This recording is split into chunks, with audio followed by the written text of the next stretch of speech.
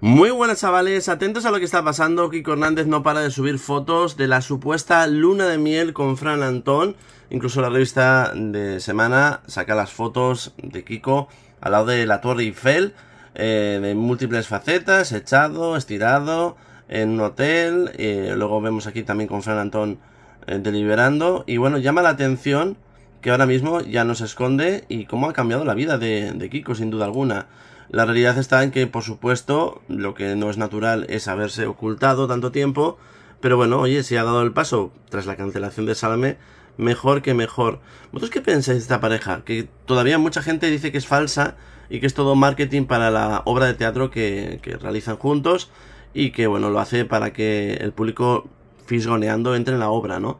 Lo veremos, si en un año, por ejemplo, cuando acabe la obra, eh, esta relación dicen que rompen, pues oye, sabremos que ha sido montaje. Pero si no, pues oye, que a lo mejor se quieren y todo, ¿no? ¿Vosotros qué pensáis de todo esto? Eh, además, por cierto, en redes sociales lo están criticando bastante, aunque también tienen algún comentario eh, positivo. Comentad, opinad, dale like al vídeo, suscribirse. Un beso enorme de corazón y nos vemos en un próximo videolog.